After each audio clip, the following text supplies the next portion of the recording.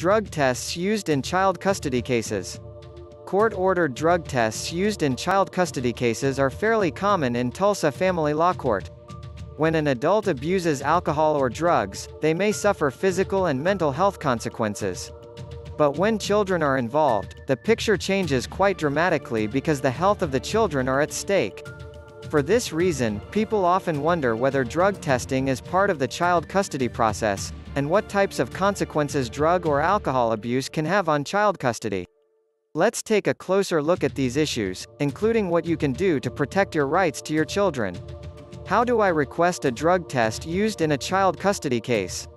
It is up to the court to decide if and when a drug test is needed. If the court thinks that a drug test is warranted, then they are required to order the test that is less intrusive. However, the results do not automatically serve to deny custody rights. Other factors are also considered relevant when arriving at this decision. How are drug tests carried out in child custody cases? Whoever administers the drug test has to follow certain rules, explained below. All test results must be confidential, because of this, the information cannot be shared through any means. Penalties and fines can be assessed in cases where there is a breach of confidentiality. Results obtained by a drug test can only be used to settle issues related to a child's custody. The information revealed through this test cannot be used in either criminal or civil cases. If a parent disagrees with the result of the test, then they can challenge it and request additional tests to be done until the matter is decided. This is allowed since on occasion, these tests may produce inaccurate results. Avoid granting custody to a parent who abuses alcohol or drugs. When children go through a divorce or a paternity case, they experience a complete upheaval in their daily lives and routines. Everything they know up to that point suddenly changes. They may move to a different house, have to change school, disconnect from all of their friends, and deal with many other consequences. Having alcohol or drugs involved makes this picture even more dire. However, it is not possible for the court to make the right decision when it comes to taking custody away from a parent if the court has no information regarding their abuse of alcohol or drugs. If you are convinced that the children's other parent is committing this abuse, then for you to do something about it, you or someone else will have to establish with the court that the other parent is abusing alcohol or drugs. Proving that a parent engages in this behavior is in the best interests of the child since living with someone who is addicted to drugs or alcohol places that child's well-being and safety at risk.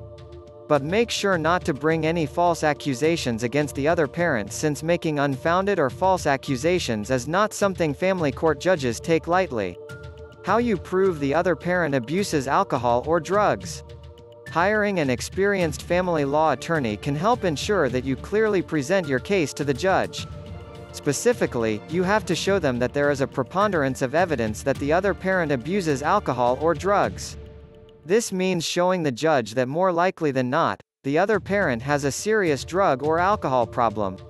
At court, you could build a strong case against the other parent by calling witnesses who can testify in your favor getting sworn statements from people who are knowledgeable about the parent's drug or alcohol abuse.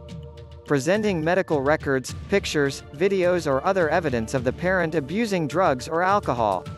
Presenting evidence of any criminal activity by the parent while they are intoxicated. Drug test consequences on custody. Most likely, a parent's custody will be removed following their positive drug test result. In this situation, that parent's visitation rights will have to be determined by the judge and the sober parent may be awarded sole custody. These rules are set according to the criteria of the court, and future drug tests could be ordered by the court and may involve other psychological testing be ordered as well. Also, once the test determines that the parent is abusing alcohol or drugs, it follows that the court becomes interested in finding out whether the environment at home has led any children to have access to the drugs or alcohol. If this proves to be the case, then the parent in question could be criminally charged based on child protection laws. If it is determined by the court that the parent's actions have placed the child in danger, then the parent can be sent to prison for child endangerment. Otherwise, Child Protective Services will typically get involved and start regular visitations to the child's home in order to ensure that a healthy environment exists for the child. If it becomes obvious to CPS that the environment is or may be harmful to the child, then the custody situation will likely change. Tulsa custody lawyers in your corner. Drug tests used in child custody cases are an effective tool for determining custody when one parent is suspected of illegal drug use.